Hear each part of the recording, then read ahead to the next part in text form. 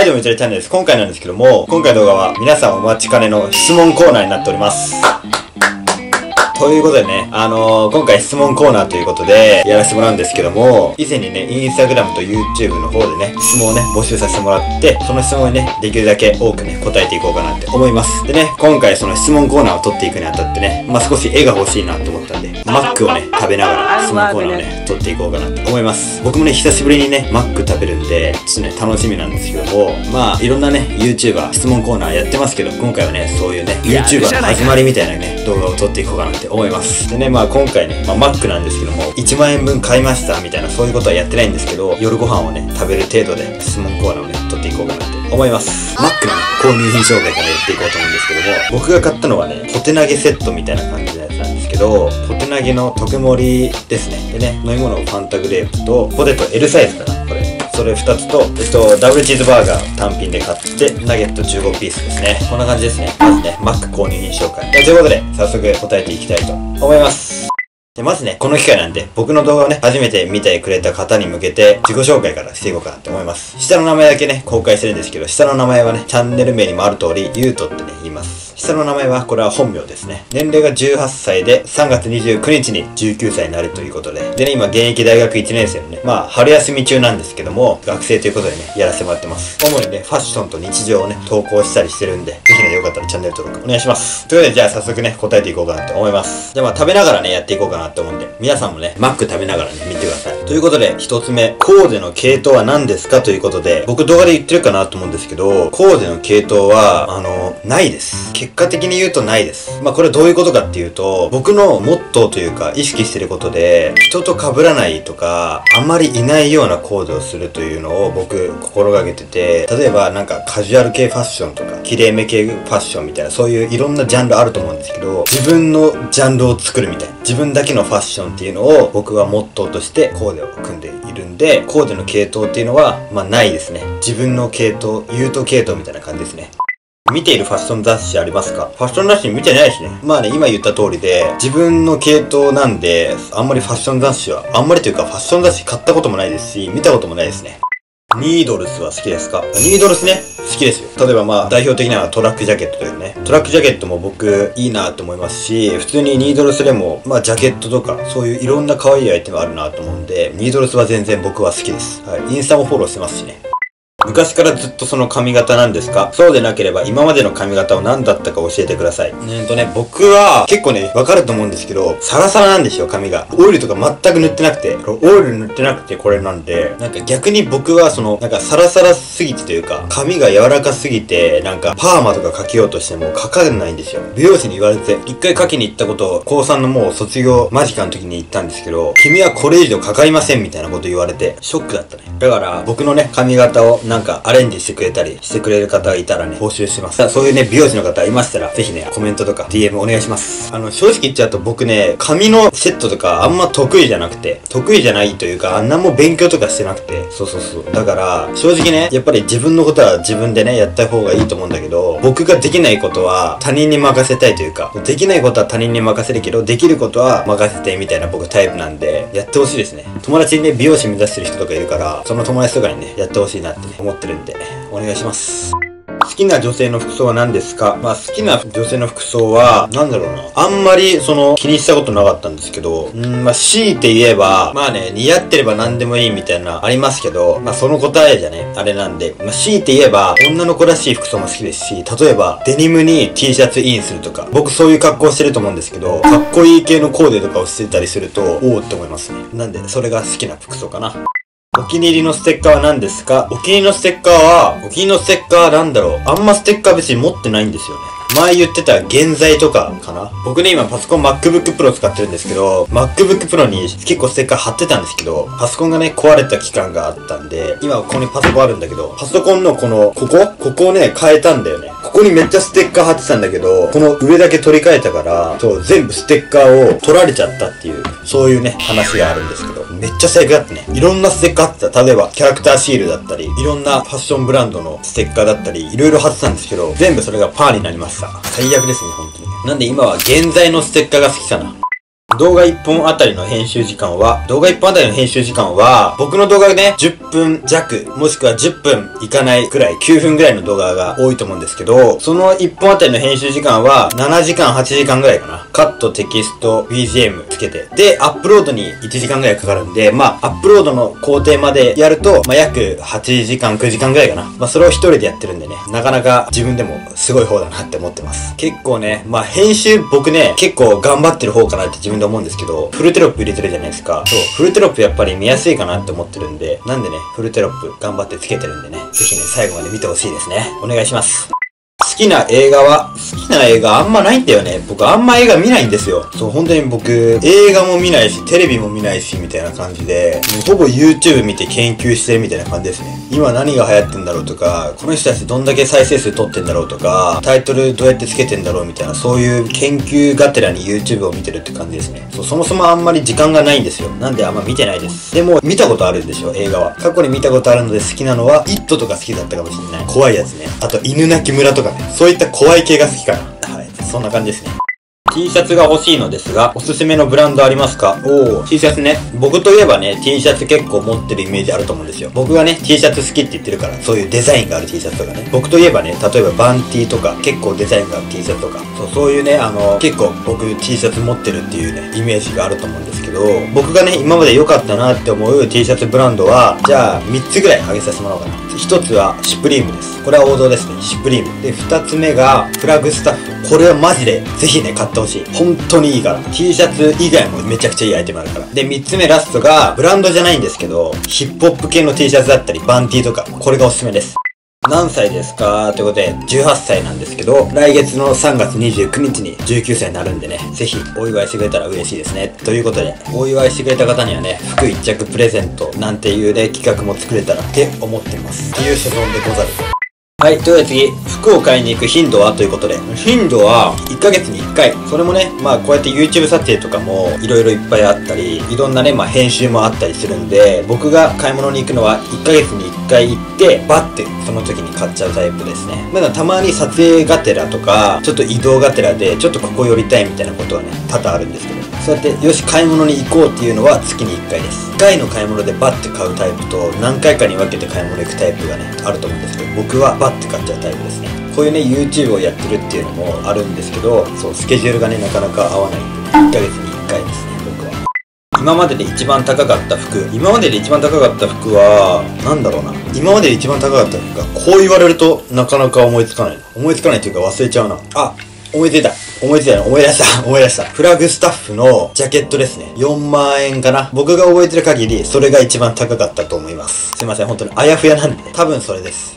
ファッションを参考にしている人とかいますか？まあこれもね、まあ一番最初の質問とかと被ってくるところもあると思うんですけど、いませんね。僕は僕の系統なんで、僕は僕の系統なんで、僕はね、自分の系統を大事にするんで、ファッションを参考にしている人とかはいないですね。特にいないって感じですね。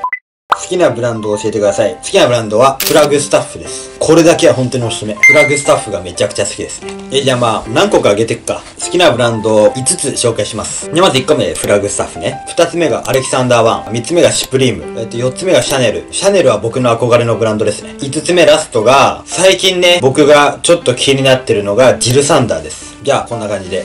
髪切らないんですか？ということで、髪は切ります。髪切り行く動画とかもね、出そうかなと思ってるんで、楽しみに待っててください。オフ会やってくれということでね。まあオフ会ね、できたらいいよね。まあこれは質問じゃないんだけど、オフ会ね、できたらいいね。香水何使っとるんやということで、香水はアットコスメにある香水を使ってるんですけど、ちょっと持ってきますね。ちょっと待ってもらってもいい？こういう香水使ってる。持ち運び用の香水なんだけど、ここのブランドかな？見える？ここのブランド使ってるんだけど、めちゃくちゃいい匂いするからおすすめ。アットコスメにあるから、行ってみてください。2000円ぐらいで買えるんで。彼女いますか？ということで、これはね、動画で言ってると思うんですけど、一律ね、答えていません。いてもいなくても答えていないって感じかな。やっぱりこうやって表舞台に立ってるっていうことは、いろんな形であっても他人に迷惑をね、彼女がいたとしても、彼女に限らず他人にね、迷惑をかけることもね、ある可能性もあるんで、そこはね、一律答えてないということで、ここはね、いてもいなくても答えてないっていうね、形をね、取らさせてもらってます。すいません。お気に入りのアイテム何ですか？お気に入りのアイテムね。お気に入りのアイテムはあの、紫の MA1。画像貼ってるかな？紫の MA1 と、ヒステリックグラマーと現在のコラボのトラックジャケット。こちらかな？じゃあ、靴系からあと1個出していくと、最近買ったこちらのスニーカーですね。こんな感じかな？まあ、まだまだあるんでね。また今度ね、お気に入りのアイテム紹介ということでやれたらいいなと思ってるんで、楽しみに待っていただけたらなって思います。革靴って履かないんですか？革靴ね、僕革靴のイメージ多分ないと思うんですけど、革靴ね、買おうとはね、思ってないですね。でもね、多分いずれか買うかなと思うんですけど、今はね、買うっていう目処はまだついてないですね。ファッションが好きになったきっかけを教えてください。もうファッションが好きになったきっかけ？とっさのあれですよね。もう本当になんか、スポーツをなんかやり始めるタイミングとかと同じで、多分さ、僕サッカーやってたけど、サッカーやりたいってなったらみんなサッカーやってるじゃないですか。そんな感じで覚えてないですね。だからもうなんか、思ってないうちに好きになってましたね。はい、そんな感じかな。インスタの投稿は誰を真似てますか？インスタの動画は誰を真似てるともないけどね。さっきも言ったけど、その、僕はね、僕の系統でコーデを組んでるんで、別に誰かのファッションを見ることもないですし、誰かを参考にしてるっていうこともね、別にないんで、インスタの投稿はね、使ってるアイテムのタグ付けとメンションをしてるぐらいと、あと、ハッシュタグで季節ごとのコーデをね、つけてるって感じかな。そんな感じですね。頑張れということでね、まあ応援メッセージも来てることでね、本当にありがたいですね。もう応援メッセージなんてもうこれを見るだけでね、頑張れるんで、本当にありがとうございます。好きな食べ物何ですか？あと次狙ってるスニーカーは、好きな食べ物はシュークリームかな？シュークリームが好きです。めちゃくちゃお腹減ってる時のシュークリームが一番好きかな。次狙ってるスニーカーか。次狙ってるスニーカーは、えー、っとね、次狙ってるスニーカーか。えー、ないな、別に。決めてないかなな。でも、いいなって思ったのは、三原康弘っていうブランドのスニーカーなんだけど、ちょっと画像出しとく。こんな感じかな。そう。これがめちゃくちゃいいなと思って、買いたいなと思ってね。多分この靴3万4万ぐらいで買えるから、高いっちゃ高いけど、買える値段ではあるんで、買おうかなって思ってます。デート向けのアウターは何がおすすめですか？デート向けのアウターは、僕がおすすめするのは、アウターは正直僕はおすすめしなくて、ダウンベストがめちゃくちゃおすすめかなと思ってます。やっぱね、この季節ね、アウターを着るかなと思うんですけど、アウターってね、周りとやっぱり被るというか、僕の心がけていることから言うと、アウターっていうのは被りやすいんで、じゃあダウンベストを着て、インナーで少し遊び心を出そうかな、みたいな、そういう感じでコーデ組んでるんで、僕がおすすめなのはダウンベストかなって思います。福岡に行ってる動画が見たいです。福岡へに行ってる動画出しますよ。全然出します。最近ね、そういう外画角の動画もね、出していってるんですけど、結構ね、いい感じにね、好評ももらえたりしてるんで、引き続きね、いっぱい出していこうかなって思ってます。次の質問行きたいんですけど、ちょっとお腹いっぱいなんで、多すぎた。いつも動画楽しみにしています。ゆうとさんが思うおしゃれなコーデとダサいコーデをぜひ教えていただきたいです。いやー、これについて、例えば、この組み合わせがおしゃれだよって言うんじゃなくて、ちょっと僕の考えからね、言わせてもらうと、あの、まあ、おしゃれなコーデっていうのは、まあ、例えば、自信を持ったコーデとか、あと、人に影響されてないコーデ。そうそうそう。自信を持ったコーデっていうのは、まあ、単純に自分のね、メンタリティのところだと思うんですけど、その、人に影響されてないっていうところで軽く説明しとくと、例えば、人からね、影響を受けて、このブランド好きになったとか、人から影響を受けてこのファッションが好きになったっていうのを、それはね、自分で、これはおしゃれだ、これはいいっていうね、思いながら着るならいいと思うんですけど、誰かが着てるからとか、誰かがこのブランド好きだからとかって言って、別に自分が好きじゃないのに着てるっていうのは、僕はそれはダサいコーデかなって思ってるんで、僕が思うおしゃれなコーデとダサいコーデの境目はそこかなって思ってます。オフ会開く予定ありますか？同じ県だったら絶対行きます。まあね、ちょっとこれさっきと同じような質問だけど、これを拾った理由はね、同じ県だったら絶対行きますということで。嬉しいね。オフ会開く予定はね、まあ、全然なくはないって感じですね。僕は考えてます。同じ県だったら絶対行きますということで、僕が今住んでるのは東京都なんで、まあ開催するにあたったらね、皆さんからの意見ももらいつつ、いろんなところで開催できたらなって思ってます。通ってる大学は難易度が高いですか？全然。全然って言ったらもう怒られるかもしんないけど、そんで、そんなそんな高くないです。将来の夢、目標。将来の目標と夢は、これはね、あの、ちょっと僕、しっかりね、話したいことの一つなんで、将来の目標、夢っていうのはね。なんで、これは一つの動画として皆さんに話していこうかなと思うんですけど、少しね、ここで簡単に言えば、影響力をつけて有名になることです。また、一つの動画として届けるんで、その動画待っていただけたらなと思います。編集ソフトは何ですか？編集ソフトは、ファイナルカットプロですね。結構オーソドックスなところの編集ソフトを使ってます。大学の学部は何学部ですか？経営学部です。ライフさんのおしゃれの秘訣はどこにありますか？ライフさんって言ってるんですね。えっ、と、おしゃれの秘訣は自分に自信を持ってるところと、誰にも影響されてないところと、自分のスタイルを確立してるところですね。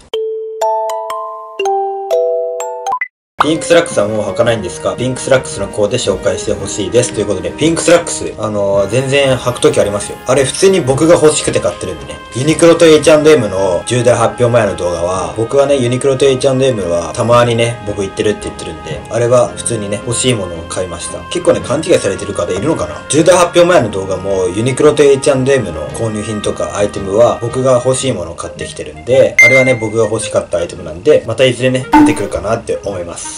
はい。ということでね、質問にね、かなり答えたんじゃないかなって思ってます。全部はね、答えることはね、今回できなかったんですけども、かなりのね、質問をね、皆さんしてくれたんで、そこは本当に心からマジで感謝します。本当にありがとうございます。これはまあ初めてね、僕質問コーナーやったんですけど、またね、どっかのタイミングで質問コーナー、第2回の質問コーナーね、撮ろうかなと思ってるんで、その時はね、もっともっと質問にね、答えれたらね、いいなって思ってるんで、ぜひね、第2回の質問コーナーやっていただけたらなって思います。でね、あの、少しね、ここで代弁させてもらうと、質問の内容的に僕が企画にしたい質問があるんで、あえてここで答えてない質問もあるっていうことだけはちょっと言っときてます。僕の質問、私の質問答えられてないぞみたいなことを、ちょっとね、思った方もいるかなと思うんですけど、そこは別の企画で動画にしようかなって思ってる質問の内容とかだったり、したものはあえて答えてないです。だから、それは別の動画で、その質問の内容のね、動画が出るかなと思って、そこをね、待っていただけたいなって思います。はい。ということでね、今回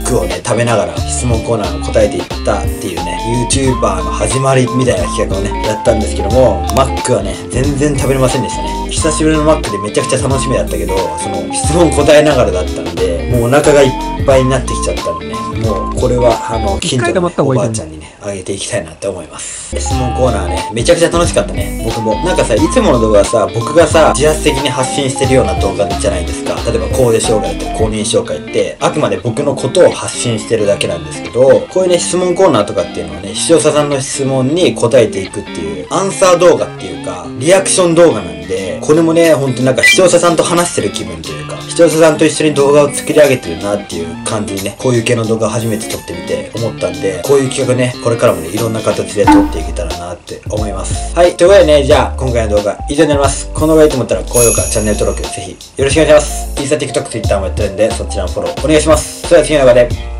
バイバイ。ちょっとこれ返品してくるわ。